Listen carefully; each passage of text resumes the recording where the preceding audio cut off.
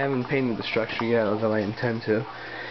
Um, for this one, for this light system, I modified it so that it's actually using, I don't know if you can see, but it's actually using 8 uh, tube fluorescence.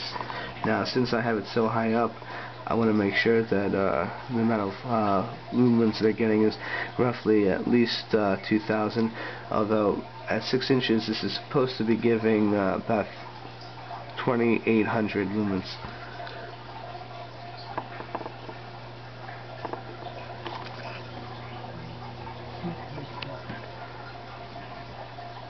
So it works out very nicely as you can see everything is lush and green, dark green if it needs to be. Nothing showing any signs of deficiencies. The uh, If I can get a root here I'll show you what the roots are looking like. The roots are nice and white, very and nice big mesh. I can't really even get that one out. Let me see if I can get this one out. Look at that, gorgeous roots. I've never seen such a white root structure. The pH, I just checked it this morning. It is uh, 6.0, so that's perfect.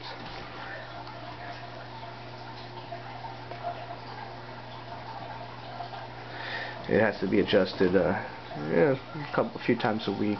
I'll uh, use either phosphoric acid to bring it down, or uh, potassium hydroxide to uh, bring the pH up and it's been working great. I'm using a um, Maxigro M-A-X-I-G-R-O uh, fertilizer, you know, nutrients and uh, it's actually very cheap but I think I got about four pounds for maybe $30 or something and that's going to last me a long time. I also put in hydrogen peroxide a few drops um, every time I do a, uh, a nutrient change out which is roughly every two to three weeks. The tank is over here. And it's a 38 gallon. I'll fill it up to about 30 gallons and use around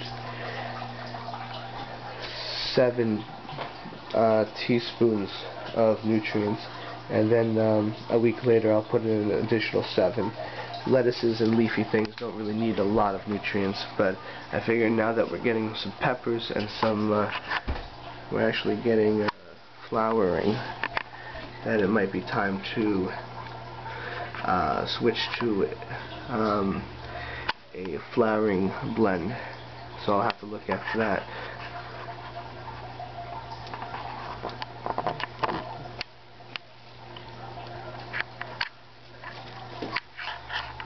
That is what's going on so far. I moved the system upstairs. It's doing very nicely up here. It's very convenient. It's right next to the kitchen.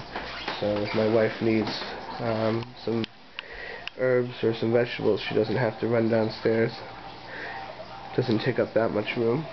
I'm actually using it for storage for my child's um, toys, so it's doubly convenient.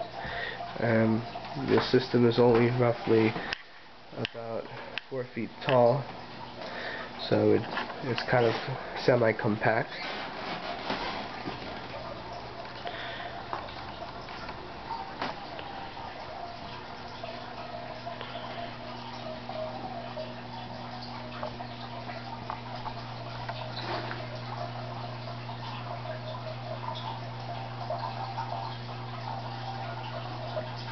Alright, well, thank you for tuning in.